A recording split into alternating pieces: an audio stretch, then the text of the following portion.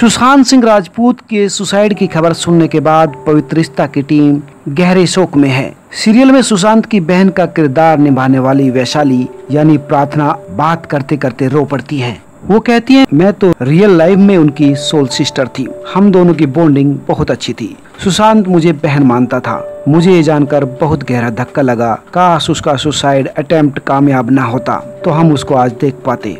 वो भी खुद देख पाता कि लोग उसे कितना प्यार करते हैं। लेकिन सुशांत हमेशा हमारे दिल में रहेगा। प्रार्थना लगातार अंकिता लोखंडे के टच में है। प्रार्थना ने बताया कि अंकिता से मैंने बात की, लेकिन वो लगातार रो रही थी। बात करने के हालत में भी नहीं है। मैं उसे सुशांत के बारे में कुछ बता रही थी, लेकिन उसने कहा कि मुझे कुछ मत बताओ।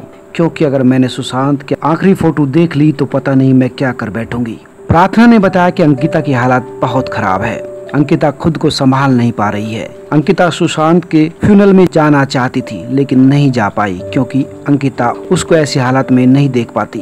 अंकिता ने प्रार्थना से कहा था कि उसने कभी सुशांत को ऐसा नहीं देखा है, और न ही वो उसको इस हालात में देख पाएगी। प्रार्थना बताती है कि मैंने अंकिता और सुशांत के प्यार को बहुत करीब से देखा है। मैं जानती हूँ कि इस वक्त अंकिता पर क्या बीत रही है, वो बिखर गई है। प्रार्थना ने बताया कि अंकिता ने एक सोशल मीडिया पोस्ट डाला था। उस पर भी उसे काफ़ी ट्रोल किया जा रहा है। अंकिता ने बताया कि मैंने तो ऐसे ही पोस्ट डाला था और मेरे दिमाग में ऐसा कुछ नहीं था। मैं तो ऐसे ही कुछ न कुछ डालती रहती हूँ। फ़िलहाल अंकिता अपने पेरेंट्स के साथ है और हम सबने उसे शांत रहने को कहा है। सब्सक्राइब करें, लाइक करें और अपने दोस्तों के साथ शेयर भी करें।